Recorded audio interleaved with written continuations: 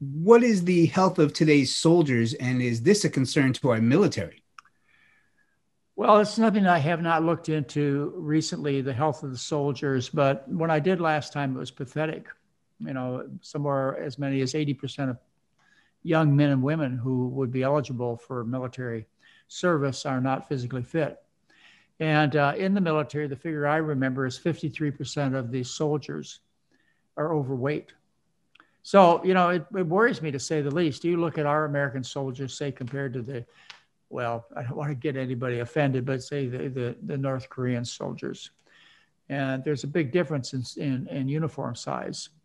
And I think it wouldn't take much to assume that the, the, the thin, strong, wiry guy is going to do really well against the big, fat guy. So, yeah, I'm worried about it. I think it's terrible that we've sent our military out there with, uh, with less than the ability that they should have to fight our battles. Absolutely. But you know, the meat and dairy industry, they can they can kill anybody. They they got they got they got the megaphone. They got the money. Can you expand on your thoughts on the impact diet has on the environment? I've had a, I, I'm very interested in, in, diet and climate change, and you know I am unfortunately one of the few people who's interested. Uh, for example, Al Gore, who did the uh, 2006 documentary "An Inconvenient Truth," which turned us all onto the the effect of what we're doing on global warming. Even Greta Thunberg, who's the young lady who has rallied millions of people around the world, she's a vegan herself, but she really doesn't push it hard and then one of the more concerning things was a piece I saw last week on 60 Minutes with Bill Gates. Bill Gates, uh, who I've always considered uh, one of the pioneers in public health, and uh, so much so very interested in the environment. Bill Gates was on the 60 Minutes show, and he talked about how we had to look at every every possibility because we're so far gone as far as the global warming picture goes. We can't leave any any idea unturned. And then on that particular show, he sat and defended his cheeseburger. You know, what you eat is very personal, I understand, but when it comes to destroying your children's future, I think you ought to try and see behind your own dinner plate.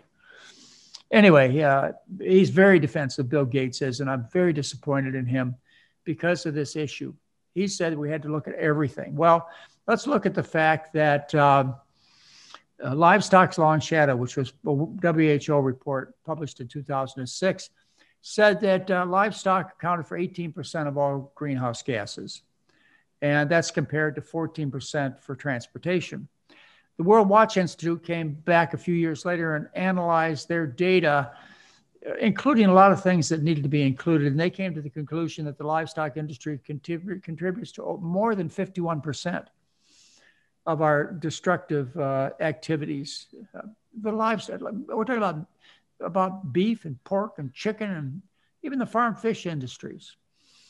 And uh, then we have the Eat Lancet Commission, which published uh, some of their more important results in the year 2019.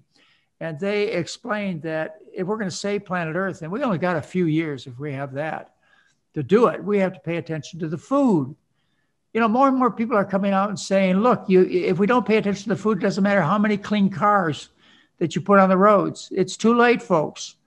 And so we have to change our diets. And so the Eat Lancet Commission came out in March of 2020 and told us that if we switch to a vegan diet, we could uh, decrease our greenhouse gas productions by half, 50%. And other researchers that are uh, involved in this particular prediction say that a vegan diet can reduce greenhouse gases by as much as 80%. So, you know, we really have to use this card, the diet card.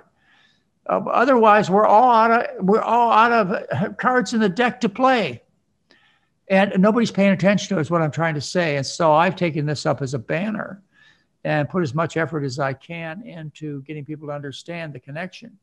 We are destroying our environment with the fork and spoon. We're deforesting our, our rainforests. Uh, we're producing huge amounts of greenhouse gases. And it's, it's you know, it's got to change. The planet's worth saving. That's all I spend my time thinking about. I spent 44 years trying to figure out how to get people to change to a healthy diet to save their own personal lives.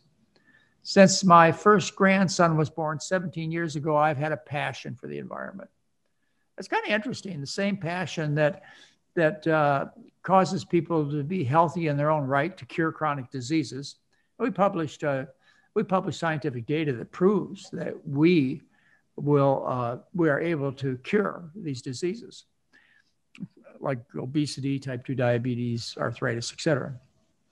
Uh, in addition, in addition to that, in addition to the impacts on the environment that I just told you about, also there's another impact on COVID-19, which could open people's eyes. You know, COVID-19 has been around for a year. And it's caused people to change and to realize that we're capable of changing dramatic changes. And they happened overnight, and we're alive and we're well. And, you know, I know there's a lot, a lot of suffering going on, but we changed. And some of the things we did is we decreased our airline travel, good for the environment, and uh, travel on the road. And, you know, we decreased greenhouse gases by 10% in just one year. But the thing to know is that there's a, important personal card that people can play. You only have two tools in your toolbox to keep you from going on from mild to asymptomatic disease to very serious disease, where you end up in the hospital, where you end up on a ventilator, where you end up dying. Two tools. One is uh, public health, which is uh, you know washing your hands and wearing a mask and and uh, social distancing. The, the other tool that is too seldom talked about, just like with the other subjects I just talked about, chronic disease and the environment, they won't even talk about diet and COVID 19. We've known since before this virus came to the United States or Europe, when it was still in China, that people who have comorbid conditions, which are diabetes, too fat, you know, people have the Western diseases, they're the ones that go on and die from this disease. Uh, you know, Anthony Fauci told Congress in the summer of 2020 that the only way you go on to more serious diseases is to have these comorbid factors, which we cure with a simple starch-based diet. So, you know, we have we have three different avenues to approach this from, and hopefully we wake up.